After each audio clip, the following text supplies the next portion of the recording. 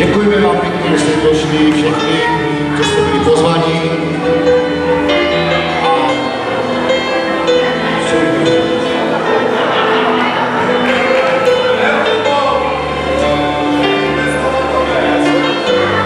Takže my kapely vás tady všechny zdravíme a blahopřejeme a je Slovenky všechno nejlepší. Hodně štěstí a zdraví v životě, lásky a pohodu.